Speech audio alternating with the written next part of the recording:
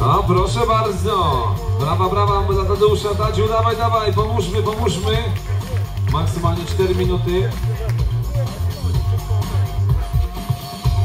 No wydawało, wydaje się, że może robić to bez końca, ale jednak do pewnego momentu. Później gdzieś tam low battery włącza się i ta blokada ramion następuje. Marta Tkaczyk patrzy gdzieś tam z boku, jak tutaj Tadziu sobie radzi na drążku.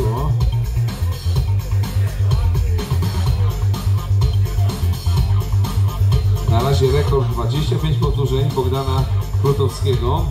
Jeszcze Robert, jego brat, podobno jest dwa razy lepszy, więc będzie 50.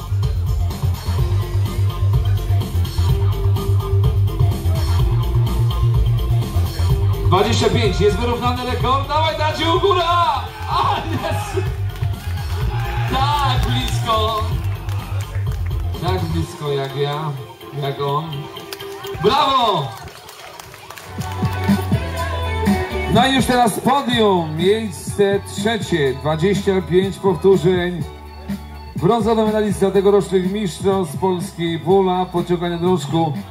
Bogdan Blutowski! Zapraszam, brawo, brawo! Gratulacje. Miejsce drugie, wspaniały bój i 26 powtórzeń. Tadeusz Skowroński! Brawo!